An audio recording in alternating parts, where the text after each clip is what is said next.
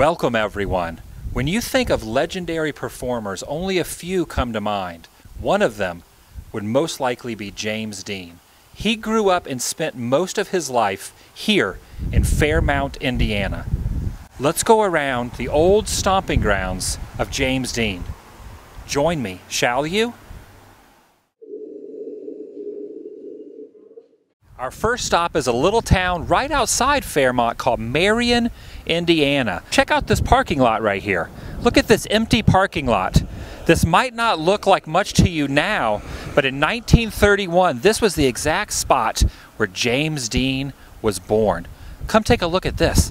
Right here on this rock is a placard. Look at this. Right here. February 8th, 1931. Look at it now, it's just cars.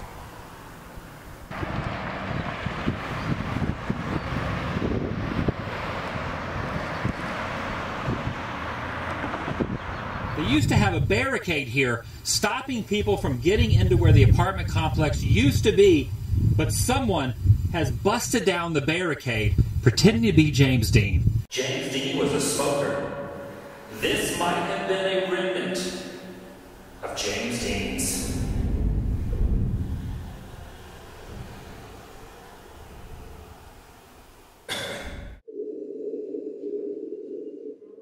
On a side note, Morrissey filmed his very first music video after the Smiths broke up right here down this main road. In fact, you can see this sign and a camera shot, a crane shot comes down we can see Morrissey walking in the snow. He filmed a whole homage to James Dean here in Fairmount in 1988. We're living vicariously not only through James Dean, but also through Morrissey. I love the Smiths.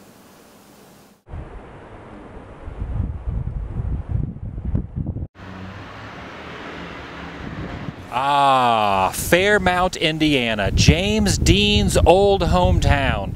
It's safe to say that James Dean spent a fair amount of time here. here on the corner of East Adams and Vine Street is a very historic spot. His high school. Just think of the hours spent learning in this building, the friends he made, memories shared, and now this building sits empty, decrepit, abandoned.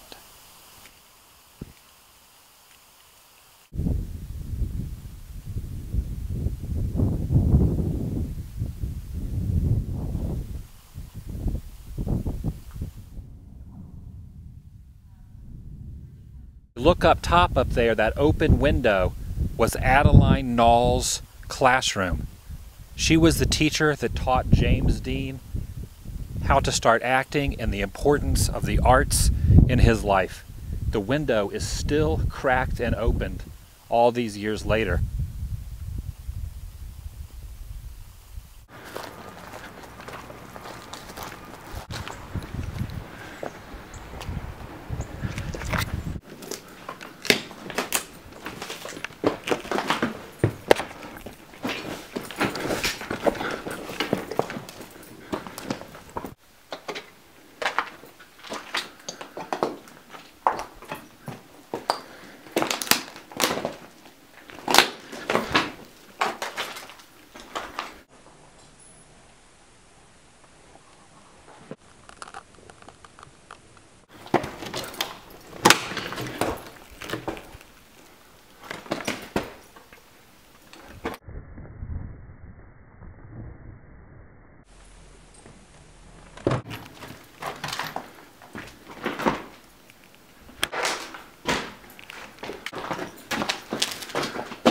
Well, as you can see, you can no longer get up to his classroom. The stairs have completely fallen in.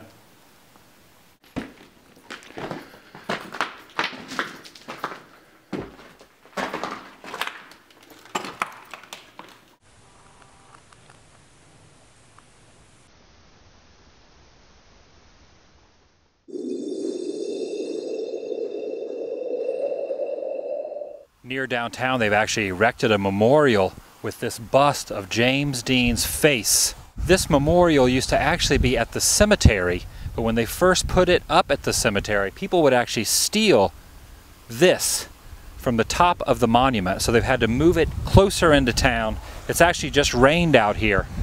And it almost looks like James Dean is crying. It's a little tear right there. See that little tear right there? He's weeping. This is where he first performed in front of a crowd. As a small child, in front of the congregation, he did a short play right inside that door. The birth of a legend. It's pretty awesome to think that James Dean at one time as a young lad walked probably through this alley, or maybe he was scared of this alley. He wasn't quite a rebel at that age. That came later in life. He became a rebel without a cause. So maybe at a young age, this alley terrified him. But as he was older and he came back, he might have walked through this alley. So who knows? This alley could have been walked through by none other than James Dean or something.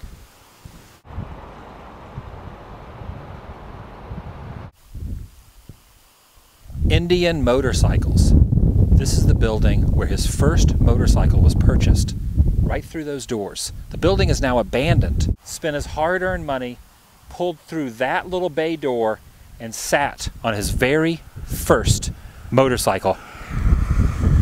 Awesome. We got some ivy. I'm not sure if it's poisonous, but it is a form of ivy going up the door, leading to the original sign. Nailed against the wall, and if you look closely up top, you can see Fairmount, which is where we are, Fairmount, Indiana. You got to wonder if there's any motorcycles inside there, just waiting to be purchased by future James Dean aficionados, if that's even a word, aficionados, fans. Which do you prefer, aficionado or fan? Whichever's easier to spell.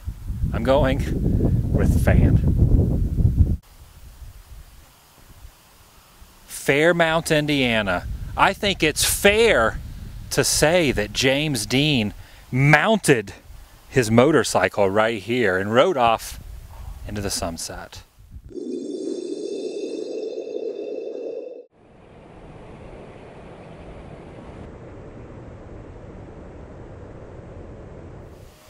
You can see the Fairmount Bank building behind us, and there's this famous photo of James Dean walking exactly where I'm standing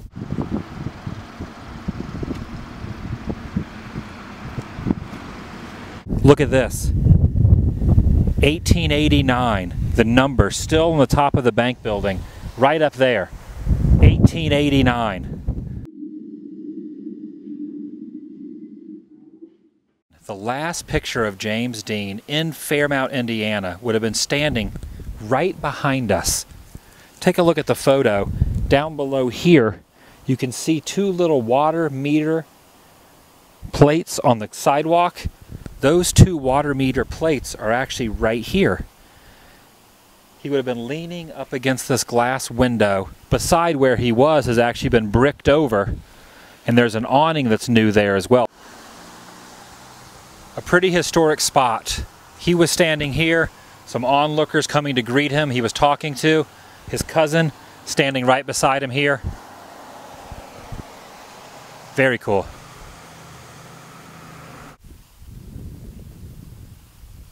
Here on the corner of North Main and 15th Street lies this cemetery. Let's go across the road. There's a picture of James Dean and his cousin standing right here on the left corner of the Cal Dean grave. You can see James Dean standing basically in the same spot that I am with his little cousin right beside him, right there. The reason I started off by showing you the address and the crossroads, the Cal Dean grave is very difficult to find. So if you make the pilgrimage out here and you want to find the Cal Dean gravestone, that's how you find it. This is the Fairmount Friends Meeting Church. After the car wreck and after he passed away, his body was brought here, right inside of this church building. In fact, these are the exact steps that his friends and family members carried his casket down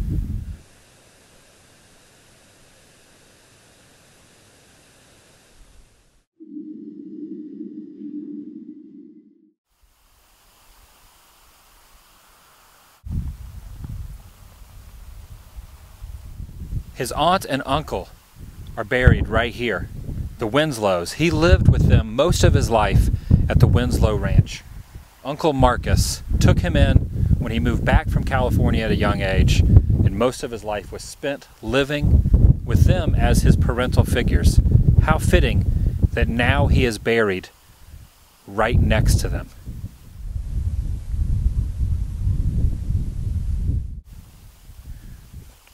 This is the grave of James Dean. People have left some mementos here, some rocks with some carving, some flowers, some cigarettes, all right here on the gravestone, as well as this rock down below. People have carved and written their names in the rock. Also, women will kiss the gravestone. You can barely see lipstick prints or lip marks on the gravestone. People paying their respects to James Dean.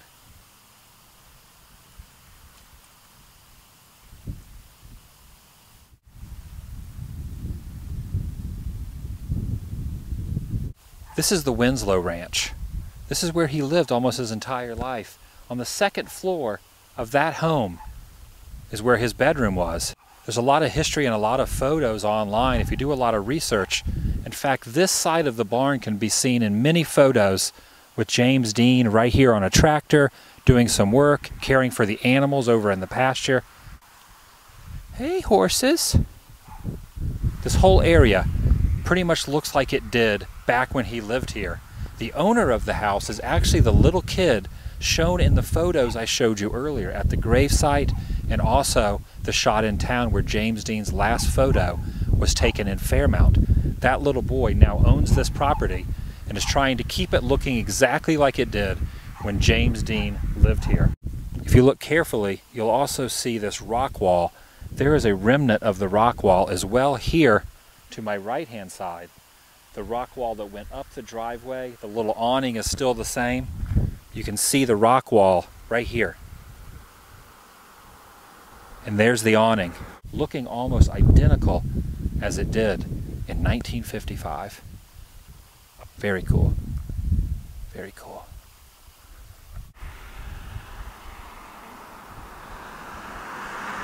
Hello, horses. Do you get a lot of tourists out here wanting to talk about James Dean? Do you guys know a lot about the history of James Dean being in the pasture Yes? You're nodding your head yes. Yes or no? Yes or no? Oh, now you're being shy. Do you know anything about the history of the land you are standing on? Do you like James Dean? Yay or nay?